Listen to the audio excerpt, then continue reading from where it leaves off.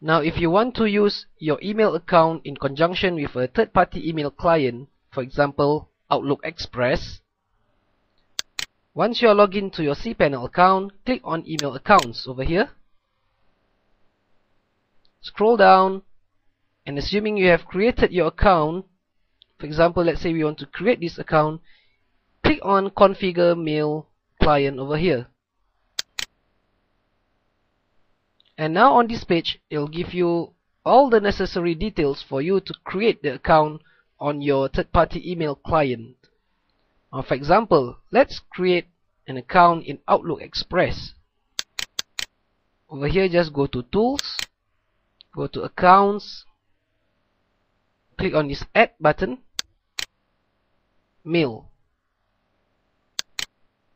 Now, it will ask your display name, so type in your name over here click on next button then type in the email address. The email address must be the same as the one that you want to create the account which is webmaster at amirsalim.com for this case.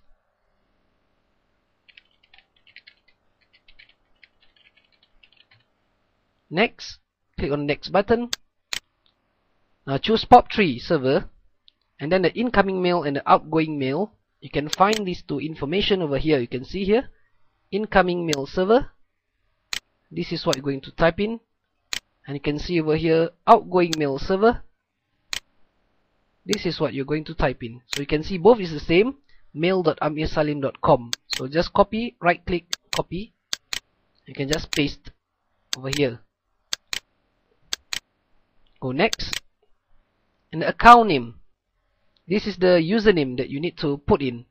The username is over here you can see the mail server username. So this is it. Webmaster plus amirsalim.com or plus your domain name. So I just copy. Type in account name over here paste. Password and the password which you have created just now. So optionally if you want to remember we want a computer to remember the password automatically just let the box to be checked.